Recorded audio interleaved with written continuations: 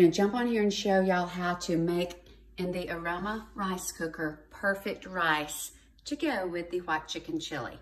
Okay, basmati every time. It's so good. It, it just comes out better. You get this cup with the Aroma Rice Maker.